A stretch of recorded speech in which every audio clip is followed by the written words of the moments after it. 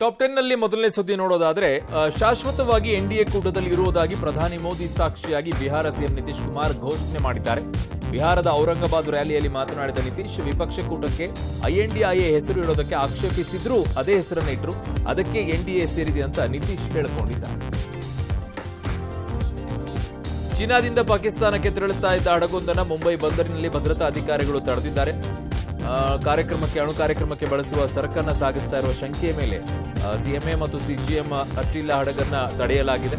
ಇದರಲ್ಲಿ ಇಟಲಿಯಲ್ಲಿ ತಯಾರಿಸಲಾದ CNC machine ಇರೋದನ್ನ ಪತ್ತೆ ಹಚ್ಚಲಾಗಿದೆ. ತನಿಖೆ ಮುಂದುವರೆದಿದೆ. ಎನ್ಐಎ ಬಿಗ್ಗಿ ಬೇಟೆ ಆಡಿದೆ. ಆರ್ಎಸ್ಎಸ್ ಕಾರ್ಯಕರ್ತ ರುದ್ರೇಶ್ ಕೊಲೆ ಪ್ರಕರಣದ ಪ್ರಮುಖ ಆರೋಪಿ ಪಿಎಫ್ಐನ ಮೊಹಮ್ಮದ್ ಗೌಸ್ ನಿಯಾಜಿಯನ್ನ ಮುಂಬೈ ವಿಮಾನ ನಿಲ್ದಾಣದಲ್ಲಿ ಬಂಧಿಸಿದೆ. ನಿಯಾಜಿ ಚಲನವಲನದ ಮೇಲೆ ನಿಗಾ ಇಟ್ಟಿದ್ದ ಗುಜರಾತ್ನ ಎಟಿಎಸ್ ನೀಡಿದ ಖಚಿತ ಮಾಹಿತಿ ಮೇರೆಗೆ ಎನ್ಐಎ ಈ ಕಾರ್ಯಾಚರಣೆಯನ್ನ ನಡೆಸಿದೆ. ಚನ್ನಪಟ್ಟಣದ ಗ್ಯಾರಂಟಿ ಸಮಾವೇಶಕ್ಕೆ ಬಂದಿದ್ದ ಮಹಿಳೆಯರಿಗೆ ಸೀರೆ ಹಂಚಲಾಗಿದೆ. ಬಸ್ನಲ್ಲೇ ಕೈ ಕಾರ್ಯಕರ್ತರು, ಬೆಂಬಲಿಗರು ಸೀರೆ ಹಂಚಿದ್ದು ಚನ್ನಪಟ್ಟಣದಲ್ಲಿ ನಡೆದ ಸಮಾವೇಶದಲ್ಲಿ ಇನ್ನೂರ ಐವತ್ತೊಂದು ಗ್ರಾಮದಿಂದ ಜನ ಬಂದಿದ್ದರು ಜಮೀನು ವಿಚಾರಕ್ಕೆ ಸವರ್ಣೀಯರು ಮತ್ತು ದಲಿತರ ನಡುವೆ ಚನ್ನರಾಯಪಟ್ಟಣ ತಾಲೂಕಿನ ಬಂಡಿಹಳ್ಳಿಯಲ್ಲಿ ಘರ್ಷಣೆಯಾಗಿದೆ ದಲಿತರ ಮೇಲೆ ಸವರ್ಣೀಯರು ದೌರ್ಜನ್ಯ ಮಾಡಿದ ಆರೋಪ ಕೇಳಿ ಬಂದಿದೆ ಕಿಡಿಗೇಡಿಗಳು ಬೈಕ್ಗೆ ಬೆಂಕಿ ಹಚ್ಚಿ ಕಲ್ಲು ತೂರಾಟ ಮಾಡಿದ್ದಾರೆ. ಪೊಲೀಸರು ತನಿಖೆಯನ್ನು ಮಾಡ್ತಾ ಇದ್ದಾರೆ. ಹನುಮಧ್ವಜ ವಿವಾದದ ಮೂಲಕ ಸದ್ದು ಮಾಡಿದ್ದ ಕೆರಗೋಡು ಗ್ರಾಮಕ್ಕೆ ಘಟನೆ ಬಳಿಕ ಇದೇ ಮೊದಲ ಬಾರಿಗೆ ಶಾಸಕ ರವಿ ಗಾಣಿಗ ಭೇಟಿಯನ್ನು ಕೊಟ್ಟಿದ್ದಾರೆ. ಈ ವೇಳೆ ಹಿಂದೂ ಕಾರ್ಯಕರ್ತರ ಜೊತೆಗೆ ಮಾತನಾಡಿ, ಖಾಸಗಿ ಜಾಗ ಹುಡುಕಿಕೊಡಿ ನಾನೇ ಮುಂದೆ ನಿಂತು ಧ್ವಜಸ್ತಂಭ ನಿರ್ಮಿಸಿ ಕೊಡ್ತೀನಿ ಅಂತ ಭರವಸೆ ಕೊಟ್ಟಿದ್ದಾರೆ.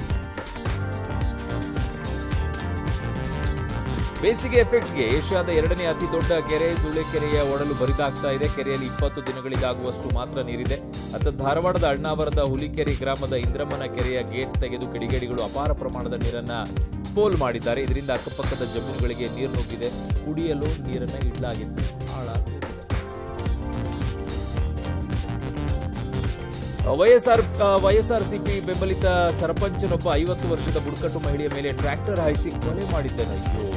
ಆಂಧ್ರದ ಪಳನಾಡಿನಲ್ಲಿ ಘಟನೆ ನಡೆದಿದೆ. ಪಕ್ಷದ ವತಿಯಿಂದ ನೀರು ಸರಬರಾಜು ಮಾಡ್ತಾ ಇದ್ದಾಗ ಈ ಮಹಿಳೆ ನೀರು ತರಕ್ಕೆ ಹೋಗಿದ್ದಾರೆ.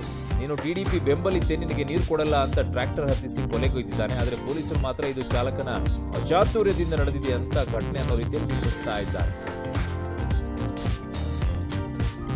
ಕಳೆದ ತಿಂಗಳು ಪ್ರಧಾನಿ ಮೋದಿ ಅವರಿಂದ ಉದ್ಘಾಟನೆಗೊಂಡಿದ್ದ ಯುಎಇನ ಮೊದಲ ಹಿಂದೂ ದೇವಾಲಯ ಸಾರ್ವಜನಿಕ ಪ್ರವೇಶಕ್ಕೆ ಮುಕ್ತವಾಗಿದೆ. ದೇವಾಲಯದ ಆಡಳಿತ ಮಂಡಳಿ ಭಕ್ತರಿಗೆ ಡ್ರೆಸ್ ಕೋಡ್ ಅನ್ನು ವಿಧಿಸಿದೆ. ಕ್ಯಾಪ್ ಟಿ ಶರ್ಟ್ ಹಾಗೂ ವಿಚಿತ್ರ ವಿನ್ಯಾಸಗಳನ್ನು ಹೊಂದಿರುವ ಉಡುಪುಗಳನ್ನು ನಿರ್ಬಂಧಿಸಿದೆ.